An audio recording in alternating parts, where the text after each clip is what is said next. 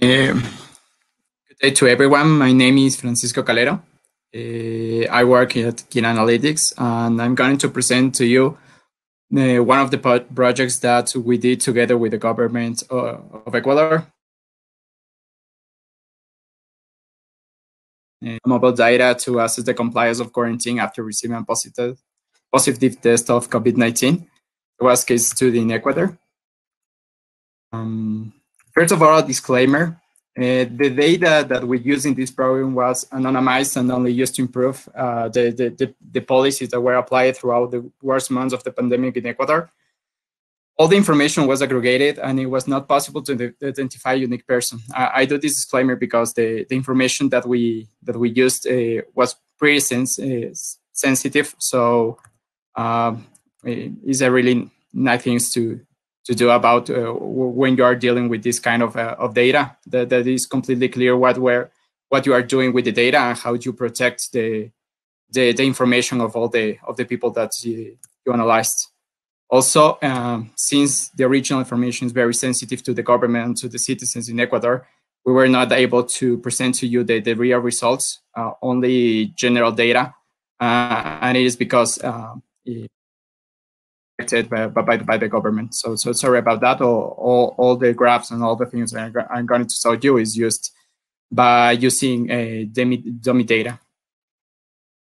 Oh, the, the beginning. Uh, in, March in 2020, um, Ecuador, Ecuador, declared the, the state of exception, which gives uh, the government special powers, especially to access information that otherwise would be restricted, especially in specific what they do is they create a document that requested all the, the mobile phone uh, service providers to share the information of the of all the people that have tested positive in the in the PCR test.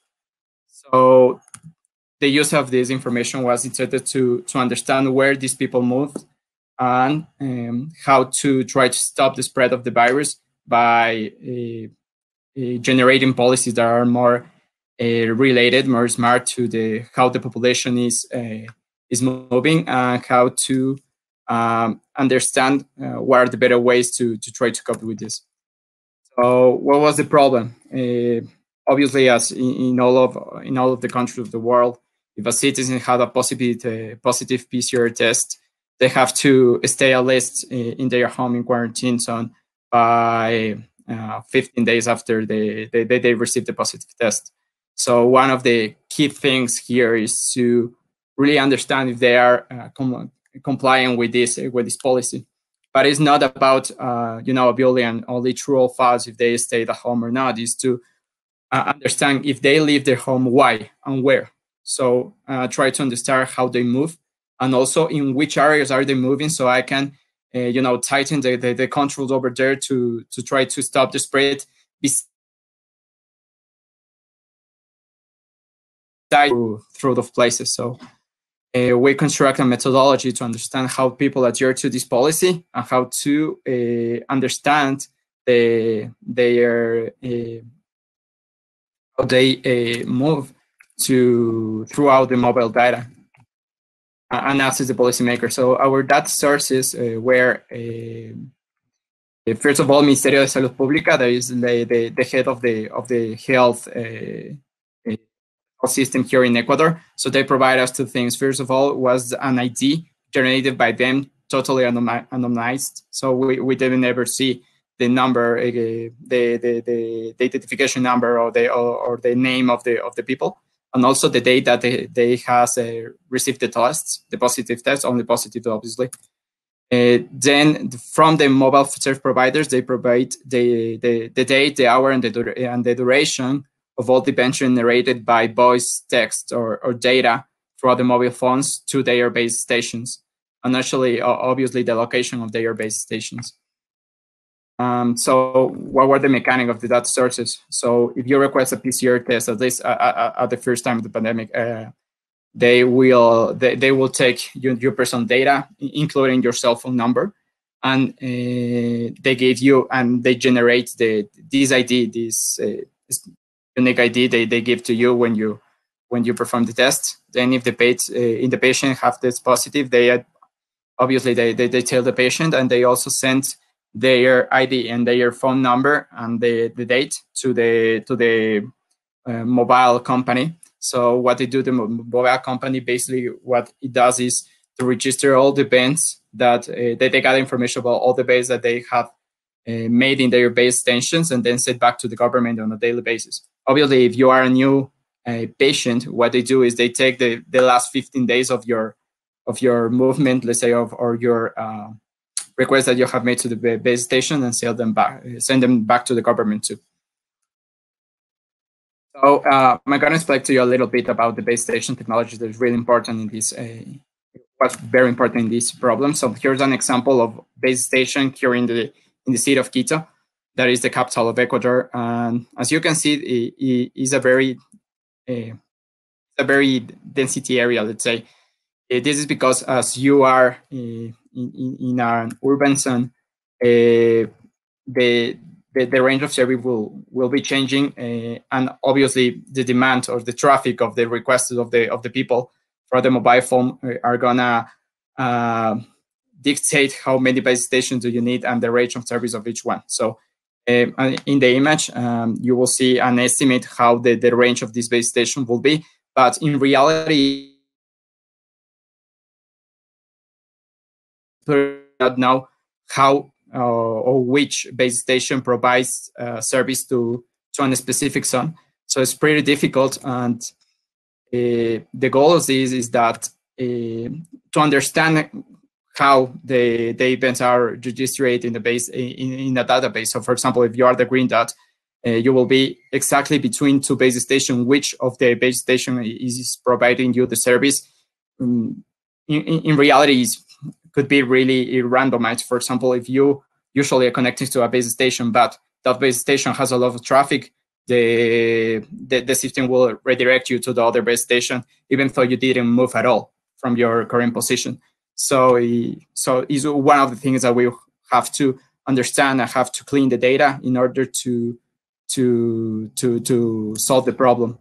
So that was in the in the urban area. However, in the in the rural area is is completely different. Well, what's the difference about this is that the distance between the base stations are so much larger in the rural area. As you can see, the, the zoom eh, is different. The, the, the, the later one was 15, this one is 13. So the problem is that the density is different and also the range of service. So here is uh, the base station usually are in the maximum capacity of, uh, of, of service uh, it could be up to several kilometers. Uh, but the difference that you will not be as close as uh, as in a rural urban area to to a base station. Um, and, and also in the rural area, the, the, the, the, range of service could be affected by the, the landscape. So, for example, if you are right next to a hill or mountain, the, the range of service will be different because the, the, the, the, waves, let's say, will not spread the same way that as if you are, for example, in, in the city. Obviously, in the city, uh, for example, buildings will also change that range of service. So it's, it's, it's pretty messy how uh, understand how uh, a base station is providing service.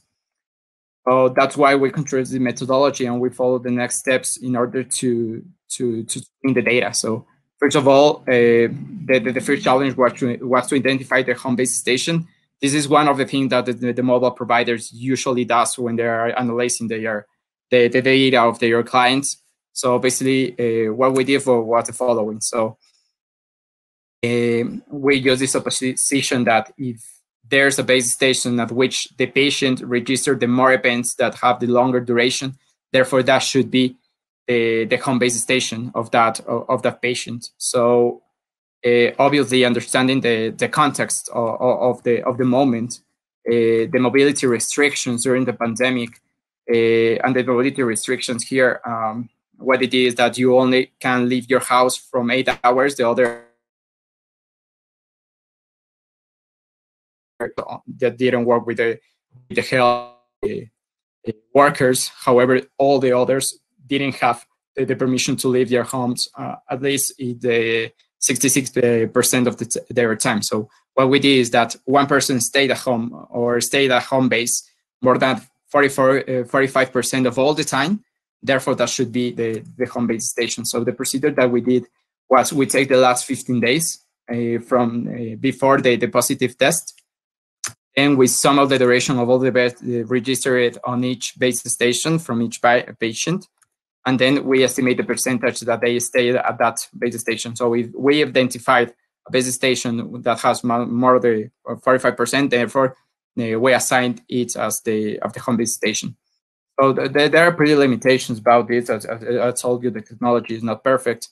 And uh, first of all, the, the data of the of the MSP, the the, the the public health uh, of the public health system here, uh, the, the, the data was was not perfect. So, for example, uh, we encounter cases such as the a seven year old that has a cell phone assigned that probably was from their parents, not from the patient, so if the parents leave their house, they are allowed, let's say, to do that, but uh, the patient, Then we, uh, we will be seeing, uh, let's say, a noise. Uh, also, what we did encounter was, for example, an 80-year-old patient that has uh, resulted positive, but I was going throughout the city of Guayaquil at 3 a.m. in the morning. Uh, Guayaquil is the, the, second largest city in the in Ecuador. The, the second most important is the largest city in Ecuador. Um, so uh, was this problem with the data, pretty difficult to try to to clean it up. But but, but within that, you know, when you aggregate it, uh, those special cases will be uh, spread throughout all the sample.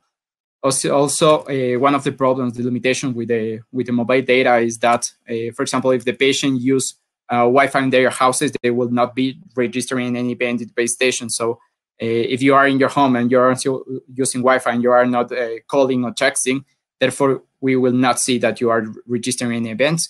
Usually that's not the case in Ecuador. Not everyone has Wi-Fi. Uh, one of the things they usually use the, the, the, their mobile to, to, to do anything. So, um, you, but it is important to, to recognize that. And also, if a patient, for example, moves to the hospital uh, because of a health emergency or something like that, we will not be able to, to understand it uh, because you know you identify the base station of the hospitals and all that is is, is pretty messy. It can, it can get pretty messy. So that that's the limitations. However, what we result is that after three months of doing this uh, this project with the with, with the government, uh, we when we analyzed and what we find is that uh, at least for the 76% of them we were able to identify a home base station. So I, I think it's what uh, pretty well because uh, usually the the all the other cases where uh, that the people didn't register any any events uh, or really a, a, little bit of events. So uh, it was pretty difficult. Next process uh, was to define a home boundary, and this is understanding or what's the necessity of this is that due to technology, it's not possible for us to capture small movements. So, for example, let's say you are the, the green dot, your home base station is the blue dot here, but you are right in the middle between two base stations. So uh, it could be, uh, as I explained to you before, it could be randomized which base stations uh, give you service. So it's very important to understand this and try to not penalize or not to uh, analyze uh, a movement that you are not certain that that, that they have uh, done. So one of the things that we were talking with the experts about is a base station of the mobile providers. What they tell you, what they tell us about is that usually the maximum range that uh, urban base station will have is one and a half kilometers, square kilometers.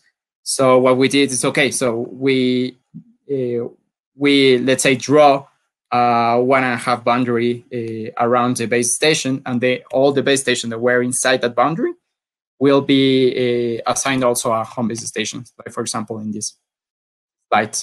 But the, the, the case difference in rural area because, uh, for example, as you can see, uh, you're the green dot again. Um, you are right in the middle between three base stations, and the boundary of one and a half kilometers, uh, square kilometers around the, the, home base will not include the other uh, base stations. So what we did here is, okay, if th this is happening, uh, we will assign the two closest uh, base stations to the home base station, to the set of home base stations, uh, in order to, to try to minimize the, the chances that we are seeing a movement that we're not certain that happen. And obviously, this is not a problem in the in the urban area because there will be or a, there will be base stations that are closer than one and a half kilometers. So one of the considerations is that you know, what I was talking about is not about a, a understanding all the movements. We all we only want to analyze the movements that are real and that we're certain that happens uh, due to technology that we're using. So that was our main focus. So yes, we, we lose a, lot of uh, a little bit of, sensi- of sensibility of the data, uh, especially small movements, but we're completely sure that uh, the, the movement that we are analyzing are true. And obviously, we're more interested in analyzing large movements in the, within the cities because that means that you are traveling, you know, to work. To one is filter out impossible cases. It was a validation process that we did because we find problems with the data of the mobile and phone provider. So, for instance, what, what we find out is that there was a there, was a someone in Guayaquil that were a registering Beton Dune. And half an hour later, they appeared 300 mi- kilometers away in Ibarra registering events, and 20 minutes later they went back to to Guayaquil registering events. So th- this was impossible. Um, so what, what, we did was to to understand this. In, in fact, it's pretty pretty difficult to explain this kind of uh, behavior. Usually, the problem is that the mobile the, the mobile phone providers uh, companies they, they, they, were some problem with the gathering of the of the information from their part, but they, even they weren't able to explain what happened then there. So the objective is to under uh, to estimate the uh, very high speed on impossible speed, and if that happens, uh, uh, we take out those cases. So some of the considerations in Ecuador, the, the domestic and uh, domestic and international flights were closed during this the, during the three four months of the pandemic, and also the speed limit is if 100% outside the city, only 50%, all the 50 kilometers per hour. Sorry, inside the city. So uh, it was a pretty uh, understandable, let's say, metric.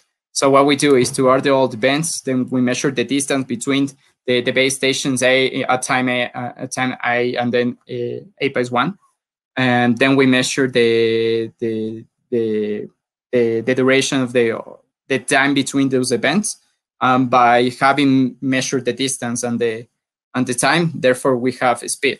And obviously, because we are uh, we are thinking that is a straight line, for example, uh, it will be kind of a lower bound because you know you, you can move in a straight line between the two two two two positions in in in, in rural or urban places. So we filter out those events, and also uh, that were you know more than 100 kilometers per hour uh, at a measured speed also, uh, what we did is to take out all the events that have occur uh, has a duration that less than one minute. Obviously, for example, if you are driving and you are receive a text, uh, it will be a really uh, or, or you are calling something like that, it will be a really a, a small time if you are driving at really high speed. Uh, or also, for example, in, in, in the graph, you can see you are the green dot, you are between two base stations, and you change by some reason which base station are you uh, receiving. So if you the difference between events two seconds and you have five kilometers away away because of how we measure the the distance will be pretty different. And so we take all the, the, those those cases too. So uh, one of the we use uh, these three basic metrics that was first of all the, the hours outside the quarantine zone zone uh, how many uh, how many hours did you spend outside your home during this movement. Uh, also, the days with movement, you will have to stay at least 15 days inside your, your home. But if you go out, how many days? Because hopefully you're not doing it uh, on a daily basis. And also uh, the average distance per movement. So as, as, as you can see, we can measure um, an estimate of the distance that you have uh, encountered. So one of the things that they were pretty interested, especially in the large cities. So these are some of the general metrics that you find out from the 23,000 people that we analyzed, and uh, we were able to to find the home base station. We found out that 51% of them have break uh, quarantine, and uh, we're completely sure because of the process that we did. Um, outside the time outside quarantine zone was five hours. In fact, it, it was pretty interesting to to understand that this metric didn't was a significant significant change or exper experiment significant change after the the mobility restriction were a lighter. So that's kind of an interesting thing um, that was used by the government to, to, to, to explain and to take uh, policies that, uh, you know, like uh, let the people move a little bit because they were not seeing uh, an impact, uh, an, an, impact uh, directly to this kind of behavior. And also the, the average day per movement. So basically here in Ecuador, five of the 15 days, they were not in their home. They were registering any movement finally, the, the average distance in the whole country was five kilometers. So it makes sense because a lot of our cities are, are really, uh, really small. However, in the large cities, that was different. For example, in Quito, the, the, the capital, it, that was uh, around 10 kilometers per movement. Finally, we have to aggregate information. Uh, obviously, we have three sources, and each source of, of it have different base station location with different ranges. Uh, so the, the main goal was to try to aggregate this data in order to understand where they're moving. So we here also uh, lost a little bit of sensitivity because uh, okay, so we take the the I, I think the the easy axis. Uh, we asked the government at which aggregation level do they feel comfortable uh, analyzing this data, and they told us uh, there was this zones that is uh, as you can see there the the the, the dark shape what it's all about is that they feel comfortable. There's a political division that they usually use is a, a set of, uh, of blocks. So basically what we do is all the base stations that were inside this block were assigned, uh, were aggregated over there, and they, we it. So uh, choose the day and understand how the people move throughout all the of the city. Obviously, this is dummy data. Sorry about that. I would like to to show you everything that we done with Carto. They, they were really uh, pretty uh, impressed of, uh, of the maps and how they, they will be able to understand all the things. And however, uh, I'm sorry that I can explain to you a little bit about how they, there were an impact in the technology. Uh, but I, I'm showing you this, uh, this video that was one of the things that the, the government showed to to, to, to all the citizens by public television, uh, public television, and they basically what we did, what they did is to understand where people are moving and, and start applying different policies or different controls, you know, to, to try to to to cut the spread of the virus. So here's an example that in, in to understanding which places there are moving uh, more than than others, understanding what are those what are in those places, and and trying to to to make better policies. So uh, they, this data was presented on a daily basis on one of the main tools that were used throughout the pandemic here in Ecuador. Uh, several policymakers have meeting with us, and they uh, ask us for reports and try to understand how they move and which policies are are better to do that. So, for example, well, uh, we we identified a lot of local markets that were having a lot of uh, of people that with positive results going over there. So they tightened the controls, you know, to to, to try to to spread the, the, the virus over there. Or for example, a lot of people moved to the center of the city because uh, a lot of reasons. So they tightened the, the, the, the mobility controls over there to to only provide access to the ones that really need it, uh, especially for food and health uh, services. And finally, uh, this data, and to be clear about this, was not used to, to apply any fees to the patients, since uh, it was never the objective of the study, uh, especially and then because of the technology is not sensitive enough to to do to do this kind of things. Uh, um, and that's it. Uh, thank you very much for listening. I hope that you uh, it was interesting. Uh, so, any question here, please? Thank you very much, Francisco fascinating insight into, into the work that you've been doing. Um, we do have a couple of questions on the chat. The first one is from William Hinton, and he would like to say to ask, what type of loss of error function are you using? Okay, so um, thank you very much. Uh, it's more uh, this one was not training any model uh, at all. It was more of a methodology of cleaning data, mobile data, uh, at, at, least. No, not try to identify these kind of things. uh, sorry about that. Uh, I know that we we could use a of the, of the study. It was not in the interest of the policymakers to to to use these models. Usually, the, you know that there's a little bit of uh, friction to, to the people. Um, here in Ecuador, we are not accustomed to, to to use this kind of models, especially in the government.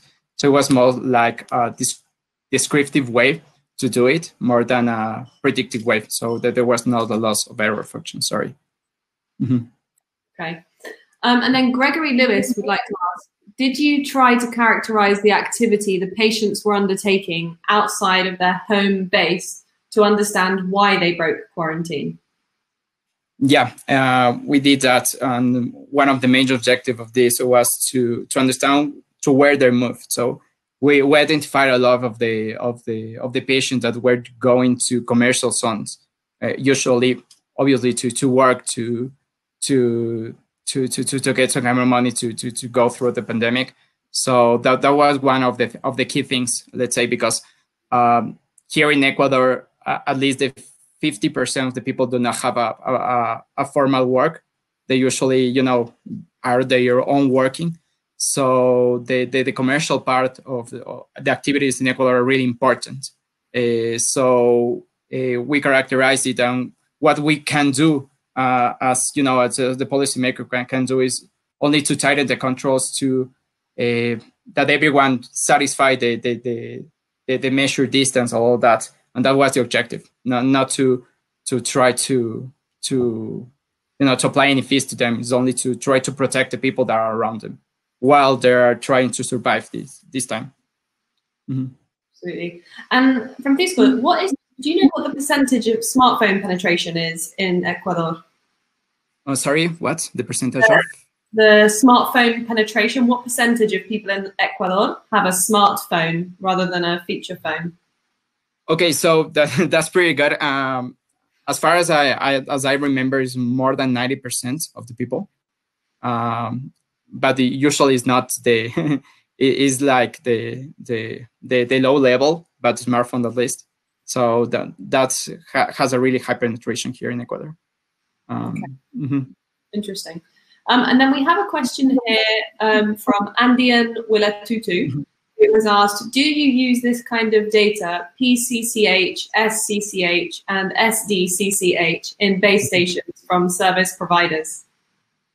Uh, in fact, no. One of the problems is that the, the documentation generated by the government only Uh, specifies that they give us the the, the movements, the events registered. So the, the, the, mobile providers do not have a, a, really nice relationship with the government because of many issues they have. After any more data about it, so we we have to to to work with the data that they gave us. So that we weren't able to to ask for more data than only the the, the events of, of each patient. Mm-hmm. Okay. Um, and then one final question before we switch to the other speaker. Uh, Samuel Hayden asked, did you try to tie movement during quarantine to the rise or decrease of new cases in specific areas? Specific, uh, in specific, yes, we did that. Um, this was part of a bigger project. In, in fact, we, uh, the, the, the, private uh, uh enterprises basically uh, build the the the tool of all of the tool of um, of data that were used with the, the government during the pandemic. So we not only have the mobile data, but we have how uh, new cases were rising, how uh, people were moving. So we tie that and we start presenting that. Uh, so it was this was part of a bigger uh, part of the story. We think that this, but the thing was the, the the the thing that was more related to an spatial kind of thing, uh, kind of, of study.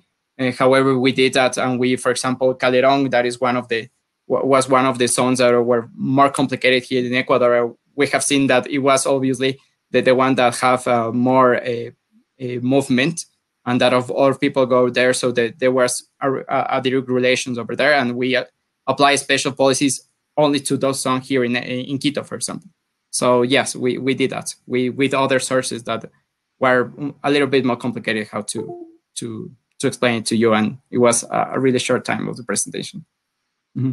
Very interesting. And that's it. Mm-hmm.